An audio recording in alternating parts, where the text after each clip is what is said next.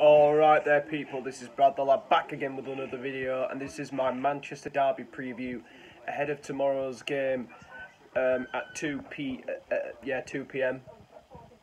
Uh, it is going to be um, a very very difficult game. I think we go into the game as underdogs. The big question is who can stop Erling Haaland? Will it be us?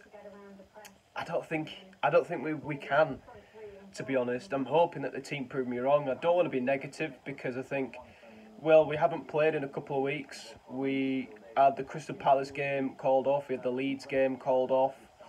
Man City will be, um, you know, I think Manchester City play Premier League games more, uh, more lately than us when, they played against Wolves, um, and they won the game three 0 um, But for me, I think it's um, it's difficult going into going to the game at the Etihad.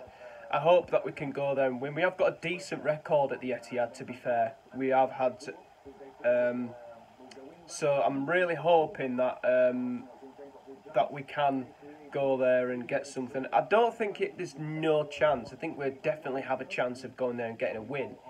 You know, I don't think we're massive underdogs, but I still think we're underdogs going into this game. My prediction, I think it's going to be quite uh, a thrilling one. I'm going to say 4 2 to Man City. I'm really hoping that I'm wrong and United get a win. Um, you know, hoping it goes the other way around. If we get a draw, maybe. I'm just trying to not be too overconfident because, you know, we know what Man City are very, very capable of. You know, um, they've got great players everywhere. It's not just Haaland, you know. I still think Grealish is a is a phenomenal player.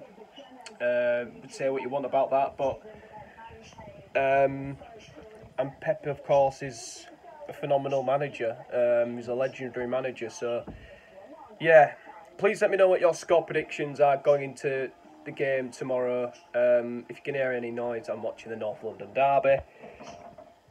So I'll see you all soon. Have a great weekend and hopefully the review I do tomorrow is a very positive one.